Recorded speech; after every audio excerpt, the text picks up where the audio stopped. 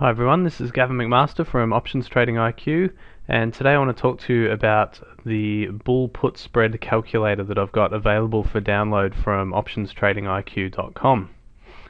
So as you can see, it's an Excel based spreadsheet and it's really really simple to use and it's something that I look at every time I'm placing either a bull put spread or a bear call spread or even an iron condor it just helps me sort of analyze the trade a little bit, work out what price I should be putting in for the trade um, in my with my broker, and also you know just give me an idea of what my maximum loss is and my maximum gain.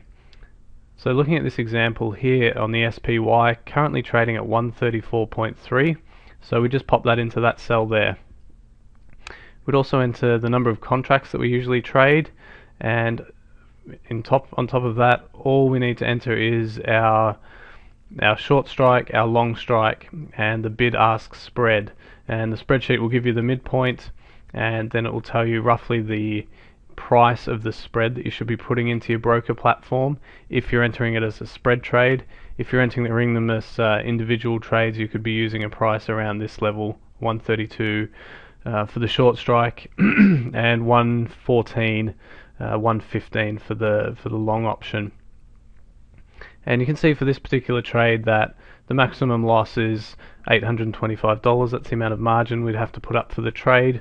And our maximum gain is 175 for a return of 21.21%.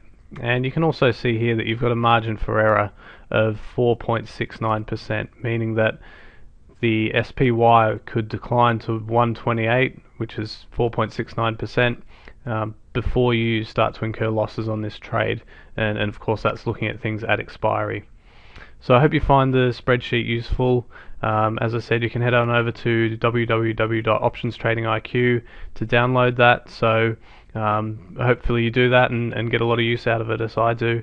And if you've got any questions, just drop me an email. All right, thanks guys. Have a great day.